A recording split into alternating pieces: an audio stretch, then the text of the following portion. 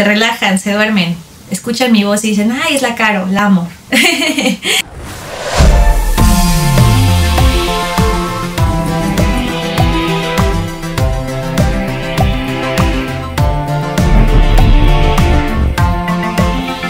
Hola canijos, ¿cómo están?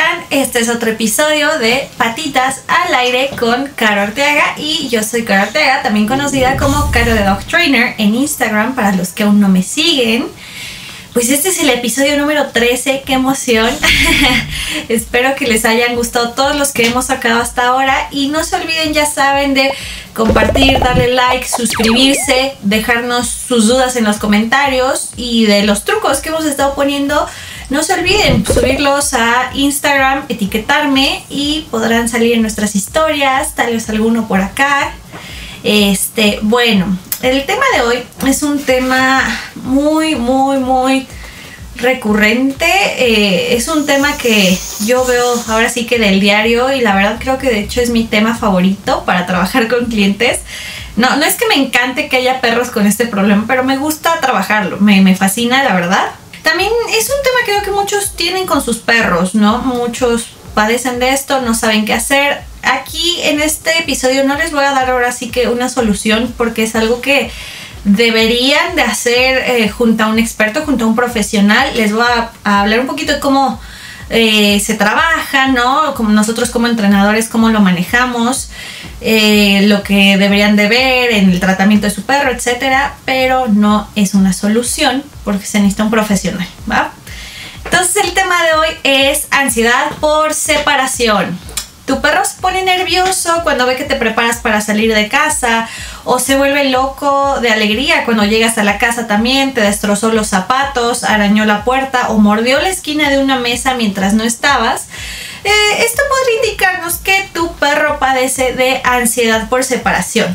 Ok, el término de ansiedad por separación se refiere a una condición en la que el paciente exhibe ansiedad por la separación de la persona o personas con las cuales está relacionado y o atado. No quiero decir vinculado porque un buen vínculo no tendría de ansiedad por separación. Ok. No hay que confundirlo, entrenadores, no hay que confundirlo con falta de entrenamiento con una jaula. Tampoco hay que confundirlo con ansiedad por soledad, que es una condición similar, la cual se presenta cuando el perro se encuentra aislado de todo o todos, no necesariamente de su propietario. Los primeros máximo 40 minutos es cuando se muestran las conductas de ansiedad. Si es a las 2, 3, horas, cuatro horas, ya no es algo relacionado a esto. Eh, recuerda que los perros deben de pasar tiempo solos y no tener nuestra compañía demasiado constante. Ojo, cuarentena, porque pueden, pueden causar problemas como estos. Sí, incluso tu cachorrito debe de pasar tiempo a solas. Muchas de las quejas que presentan los propietarios con perros eh, con ansiedad por separación son comportamientos destructivos, ensuciar la casa, o sea, ir al baño dentro de la casa cuando regularmente siempre hacen fuera, eh, vocalizaciones, ladridos, chillidos, frustración por barrera. ¿Qué es eso? Por ejemplo, el perro puede estar en la kennel te está viendo y está chille, chille, ladre y ladre, etcétera. No de una forma agresiva, pero simplemente de un, oye, te estoy viendo, estás lejos de mí, quiero estar contigo. Eso puede ser un síntoma de la ansiedad por separación. Agitación cuando el dueño se prepara para irse, de que ves que agarra las llaves, etcétera, y el perro ya empieza a agitarse desde ese momento. Tu entrenador antes que nada debería descartar causas médicas, como lo son infecciones de vías urinarias, pérdida de control de la vejiga, parásitos, desórdenes digestivos o síndrome del perro viejo, como le llaman, que es, que es la disfunción cognitiva geriátrica canina. También debe de descartar otros problemas conductuales, como destrucción y curiosidad simplemente por el hecho de ser cachorros, que sería una falta de estructura, límites, usen una jaula si ese es el tema, este, claro, si no usas una jaula y dejas a tu cachorro libre, ¿de verdad esperas que tome puras buenas decisiones sin supervisión y sin siquiera le has enseñado lo que está bien y lo que está mal? Eso no es ansiedad por separación. Hambre, puede, puede ser que tu perro tenga hambre. Este, o que tenga un síntoma, algo médico, perdón, que cause hambre. Eh, entrenamiento para el baño incompleto, que simplemente nunca le hayas enseñado bien a tu perro cómo ir al baño o que esté marcando toda la casa o que incluso sea una fobia a los truenos, que sin darte cuenta cada que te vas hay una tormenta y tu perro lo que reacciona es eso y se debe tratar de otra forma diferente. Ok, algunos factores de predisposición para la ansiedad por separación son cambios en la rutina, cambios en miembros de la casa, el hecho de que alguien se mude o lo que sea, eh, puede, puede contribuir a esto, o una adopción reciente de un albergue. Ok, ¿cómo lo prevenimos? Los cachorros desde el momento en el que llegan a casa deben de empezar a pasar tiempo solos y tiempo alejados de nosotros con otras personas. Si lleva tu cachorro a la casa de tu mejor amigo, lo que sea, y déjalo con ellos un rato, eso le va a beneficiar mucho. Y también deben de pasar tiempo a distancia de nosotros. Lo que comentaba en podcasts anteriores, este, en episodios anteriores, perdón, este, átalo a un árbol en el parque y tú te sientas a leer un libro en el árbol de frente y tu cachorro debe de permanecer calmado. Lo podemos prevenir con el entrenamiento con jaula. Si no sabes qué es esto, cómo se hace, checa nuestro episodio sobre la kennel. Está aquí arriba.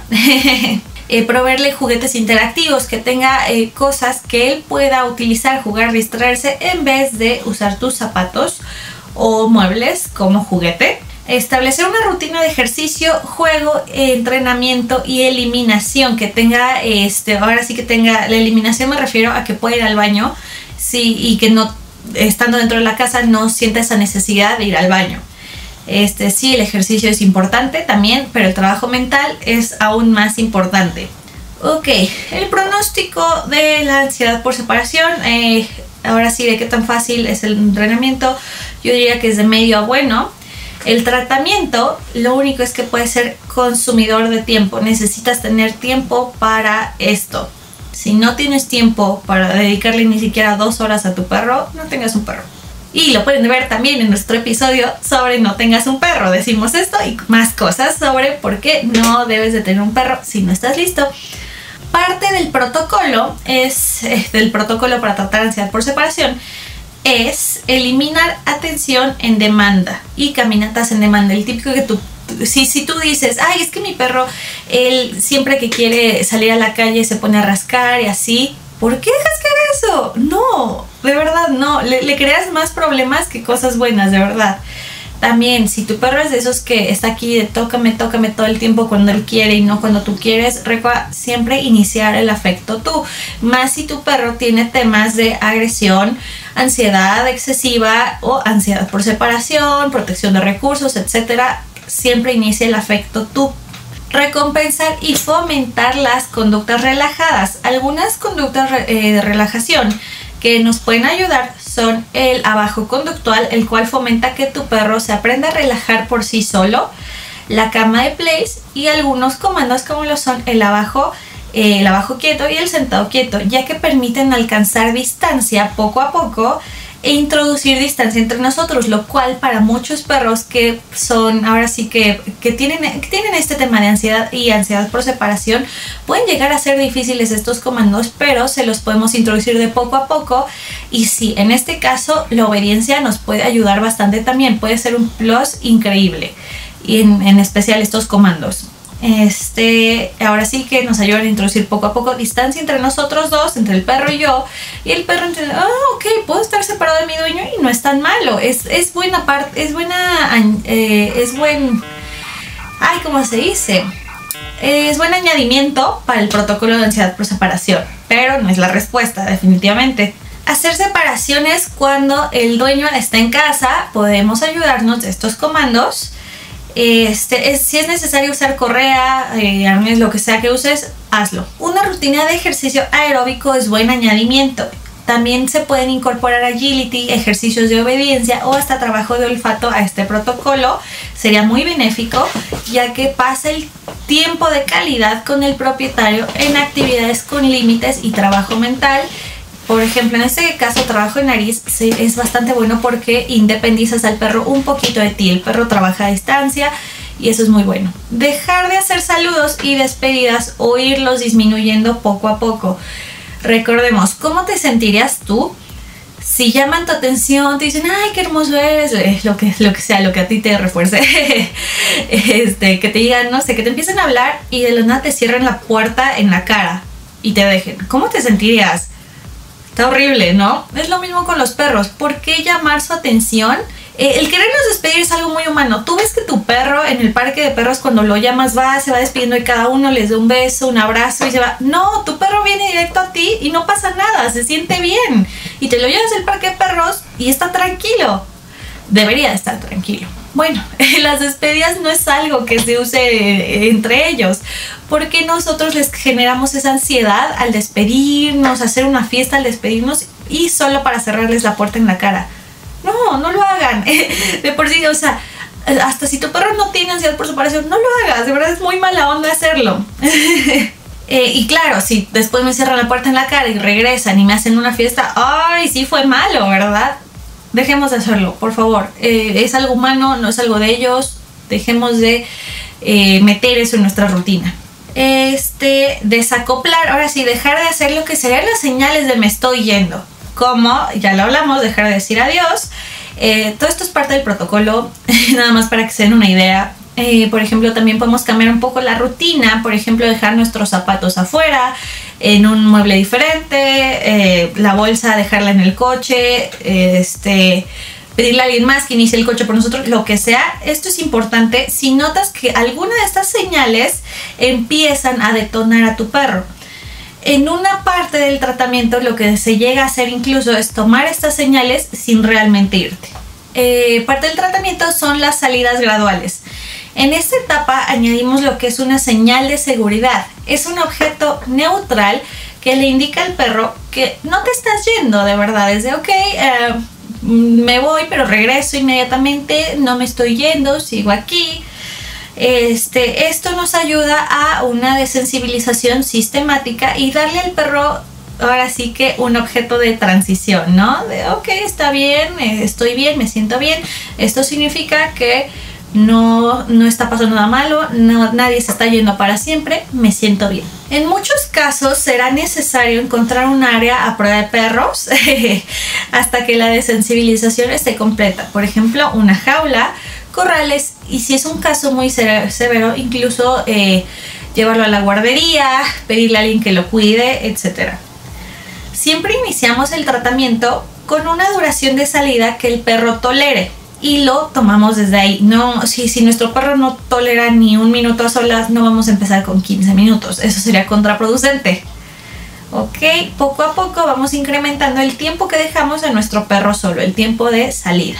En el tratamiento es bueno a veces vestirte como si fueras al trabajo y quedarte en casa para ir eliminando esas pequeñas pistas para el perro de que te vas a ir por horarios largos o que simplemente vas a salir. Y a veces es bueno salir con la ropa que usas en casa y usarla para el entrenamiento. Las señales de seguridad pueden ser desde un aroma. Yo he usado, por ejemplo, eh, la señal de seguridad para un cliente fue el aroma de la lavanda. Y era así ok, el aroma de la lavanda significa que van a regresar pronto, no me tengo que preocupar, aparte lo relajaba, no pasa nada. Y de hecho eso hasta lo untábamos en su kennel, cosas así, así, ay, aquí me siento seguro, me relajo, sé que van a regresar, no hay problema. Ok, entonces puede ser desde un aroma, un juguete, eh, un sonido, eh, pueden usar música, el reggae, los tambores africanos e incluso el reggaetón relajan a los perros. Voy a buscar el estudio, lo leí hace años la verdad, voy a buscarlo y tratar de dejarlo en, el, en la descripción si no lo dejo ahí es porque no lo he encontrado, pero voy a pedírselo a quien me comentaba eso y me lo mostró. Eh, es por el beat, el beat los relaja, pero bueno, ya lo leerán. Eh, si no, lo pondré en mi Instagram, ¿vale? Este, un sonido o hasta una mantita.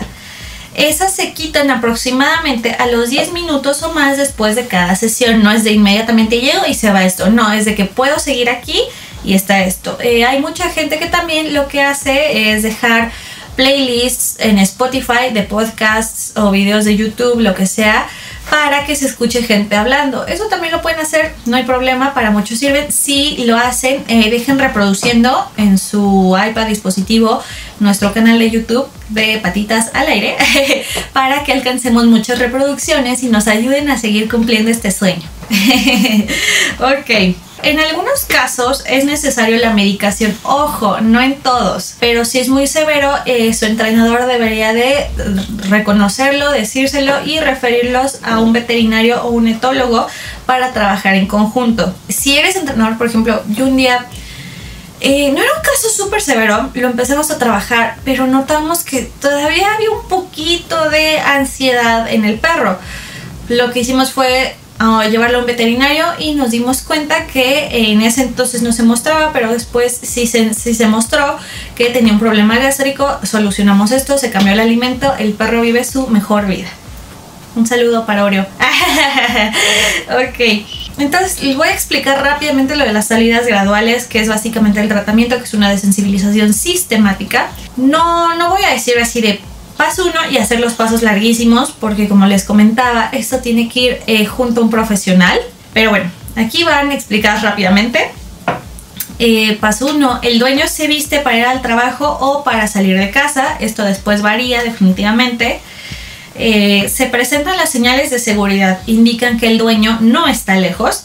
Se ponen 10 minutos antes de hacer el ejercicio, entonces pones tu aceite esencial, le das el juguete, lo que sea. Este, la primera etapa de practicar las salidas son sesiones de 10 minutos dos veces por día, mínimo tres veces a la semana, con horarios al azar puede ser que iniciemos con el dueño yéndose por segundos. Por ejemplo, se va 10 segundos, después 20, después 5, tienen que ser muy, mm, o sea, tienen que ser súper variados. Se abre y cierra la puerta sin irse. 20 segundos, 30 segundos, 45, 10 segundos, hasta llegar a un minuto. Se abre y se cierra la puerta un minuto como meta y el dueño regresa. Eh, sí, la meta ahora sí que, como les comentaba, iniciamos en el nivel de tolerancia que acepte el perro, ¿no? En el tiempo de tolerancia que nos acepte el perro, ya esto su entrenador les irá diciendo, son tantos segundos, tantos minutos, como sea. Siempre terminemos con una nota positiva y avancemos despacio. Ya saben, si queremos, si queremos volar sin saber correr, vamos a arruinar a nuestro perro en cualquier entrenamiento. Siempre tengan un plan de progreso. Pídanle a su entrenador que les haga un plan de progreso para que puedan ver cómo van avanzando, cómo han fallado y qué es lo que pueden hacer para mejorar y alcanzar su meta. La segunda etapa de salidas duraría aprox 15 minutos y empieza a la semana o a las dos semanas de hacer la primera parte. Vamos en esta etapa a aumentar el tiempo en intervalos de 2 minutos. En la tercera etapa ya se supercondicionó la señal de seguridad. El perro a dice, ok, significa esto, estoy bien, estoy tranquilo. Él logra gestionar sus emociones un poquito más. Eh, entonces en esta etapa, como decíamos, ya se condicionó introduces intervalos de 15 minutos y puedes iniciar con cosas como por ejemplo bajar escaleras, caminar unas cuadras, pedir el elevador, iniciar el coche, manejar, etc. Sigue de vez en cuando regresando a los pasos más fáciles. Eh, siempre es bueno regresar al principio para reforzar. La meta es en intervalos, en intervalos perdón, de 15 minutos llegar hasta los 90 minutos. Y así seguimos, ¿no? Al final de la desensibilización, el perro debe recibir las señales de seguridad cada que esté solo. Recuerda que ser inconsistente con esto puede prolongar el tratamiento y hacer el problema peor. Entonces, bueno, esto es un poquito, es una probadita de cómo se trabaja un caso de ansiedad por separación, lo que ustedes verían si contratan un entrenador por este tema. Este, pues eso sería todo. es algo súper común no debería de serlo, definitivamente no debería de ser común para ningún perro sentirse mal cada vez que su propietario se va. Hay que prevenirlo, por favor. Hagan los ejercicios de los que hemos estado hablando desde el podcast número uno, que sus perros puedan permanecer solos sin tener ningún problema. De verdad es mucho más eh, benéfico que después tener que, que superar y trabajar este problema de ansiedad por separación. Créanme que sus perros no lo disfrutan sé que, sé que si tienes un perro te enoja que haga destrozos, se orine, lo que sea, nadie lo disfruta. Entonces contraten a un entrenador, un especialista que los ayude a superar estos juntos, ¿vale? Eh, nada más un, un, pequeño como que comentario. Yo un día vi un video de una entrenadora que decía que trabajaba ansiedad por separación y lo que hacía era poner un collar, un collar electrónico en el nivel más alto y cada que el perro chillaba le, lo estimulaba en el nivel más alto si un entrenador les dice que así es como se trabaja esto, por favor, huyan, huyan, huyan. Y por eso les, les conté sobre todo este plano, sobre todo este tratamiento, para que se puedan dar una idea. la ansiedad por separación no se soluciona eh, con un aversivo, de verdad no, o sea, ahí no, no, no puedes corregir una emoción, ¿me entiendes? O sea, no, no se puede, definitivamente no. ¿Cómo se sentirán ustedes si cada que estén ansiosos alguien les mete un golpe? ¿Cuántos niños, a cuántos niños les hicieron eso y se han convertido en la peor versión de sí mismos? No sirve, de verdad no sirve. Para esto hay protocolos, hay ayuda, de verdad. Y busquen un especialista que les pueda ayudar, ya que escucharon este podcast, se dan una idea y cuando el especialista les ofrezca su plan de trabajo, ah, ok, o wow, eso está más completo, lo que sea, ¿no? Eh, este es ahora sí como que un, una parte de, pero definitivamente yo con mis clientes lo, personalizo, no, no todos los perros son iguales, aunque la condición sea la misma, eh, hay cosas que cambian, entonces, pues sí, esto es un poquito de lo que, lo que trabajamos con los perros con ansiedad por separación, cómo pueden ayudar un poquito a sus perros, cómo darse cuenta si, eso, si es un problema que tienen y definitivamente necesitan ayuda profesional. Entonces esto sería todo por el día de hoy, canijos. Espero que les haya gustado. No se olviden de dejarnos en, sus en los comentarios si quieren una recomendación de algún especialista, lo que sea. Este, darle like, compartir, suscribirse y ponerle a sus perros patitas al aire en reproducción mientras están solos. Créanme, se relajan, se duermen, escuchan mi voz y dicen, ay, es la Caro, la amo. bueno, entonces eso sería todo. Recuerden que estamos aquí en YouTube, en Spotify y muchos servicios de podcast más. Y felices entrenamientos. Hasta la próxima. Bye.